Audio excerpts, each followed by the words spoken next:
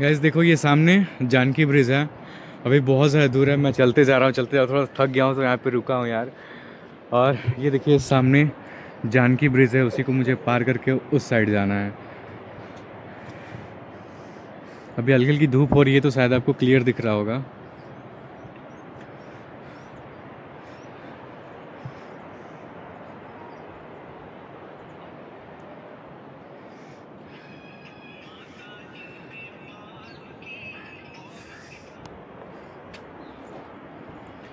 ये देखिए, मोक्ष घा, घाट सॉरी मोक्ष धाम द्वार।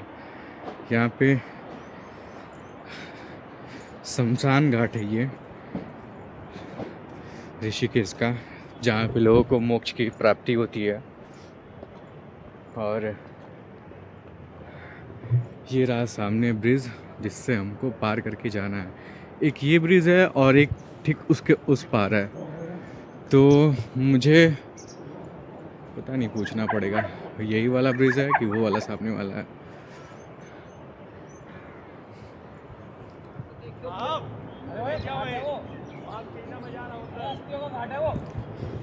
भाई साहब, मैं यहाँ पे बैठा हुआ था। थोड़ा सा रेस्ट कर रहे थे और ये देखिए, इसको भी यही जगह मिला है बैठने के लिए। मतलब मैं जैसे ही बैठा हूँ आके तुरंत बैठ गया ये भी। तो यहाँ पे कुछ लोग हैं, फ़ोटो शूट वगैरह चल रही है सबकी।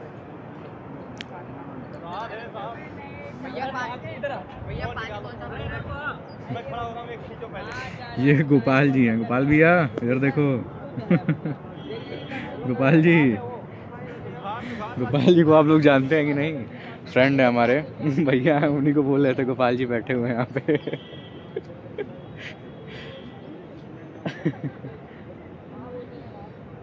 कोई नहीं यार, बहुत बड़ा ये घाट है। अभी मैं जाना, मुझे जाना अभी उस साइड उस साइड भी एक तो ब्रिज है।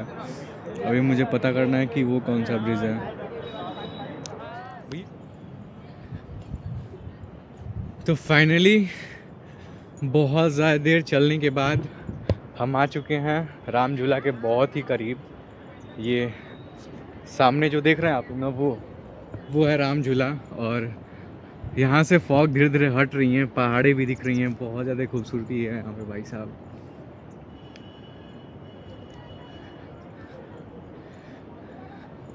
अभी राम झूला वहाँ पे है मुझे जाना पड़ेगा। अभी बहुत दूर है पैदल चलने से घाटों किनारे किनारे। और यार आ, उस घाट से मैं आ, क्या नाम था उसका? मैं भूल गया। उस घाट से मैं पैदल आ रहा हूँ यहाँ तक। अभी आ, मुझे अराउंड लग रहा है तीन चार पाँच किलोमीटर में चल लिया आऊँगा और अभी राम झूला है राम झूला से अभी दो किलोमीटर और आगे जाना पड़ेगा। तब पड़ेगा लक्ष्मण झूला। तो आज मैं दोनों झूला को एक्सप्लोर करता हूँ, अगर टाइम बचेगा तो फिर देखेंगे कि नीलकंठ जाना है या नहीं जाना है। अभी ऐसे ही भाई साहब व्यू को एंजॉय करते हुए मैं जा रहा हूँ।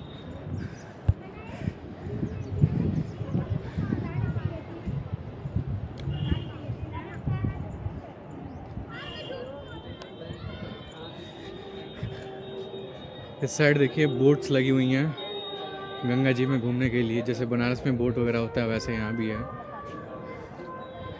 आप लोग चाहो तो आके यहाँ पे बोट की राइड कर सकते हो और पूरा घूम सकते हो।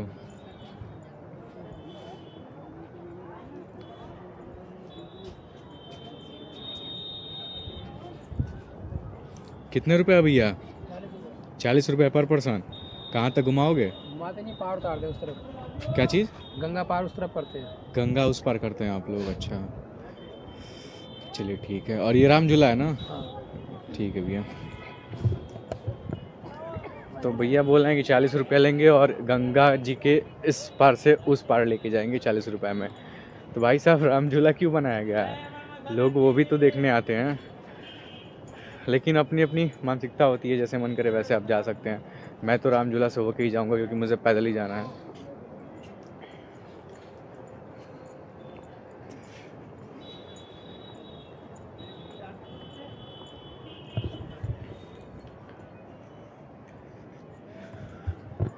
भाई साहब व्यू चेक कर रहे हैं, जैसे ही धूप आ रही है, वैसे पूरा नज़ारा यहाँ का दिख रहा है धीरे धीरे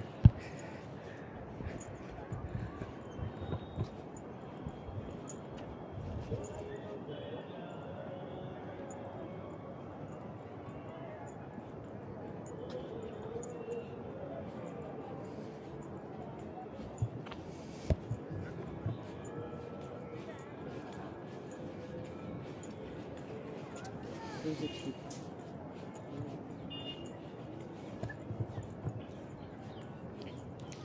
चलो जी, यहाँ से देखो कुछ ऐसे रास्ते हैं। बहुत ही पतला सा रास्ता है भाई साहब जाने के लिए।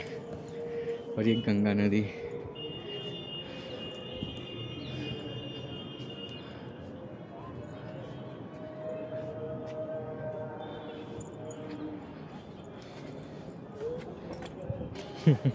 अब देख रहे हो यहाँ से कैसे जाए। चलो। देखो, सामने धीरे धीरे मैं करीब जा रहा हूँ, राम झूला के। और अभी मैं ऊपर जाऊँगा, आप लोग को झूला के ऊपर से भी दिखाऊँगा सारी चीज़ें। आप लोग वीडियो में बने रहना।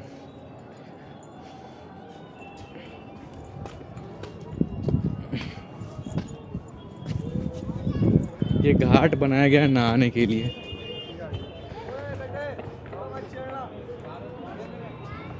मैं दूँगा ना वीडियो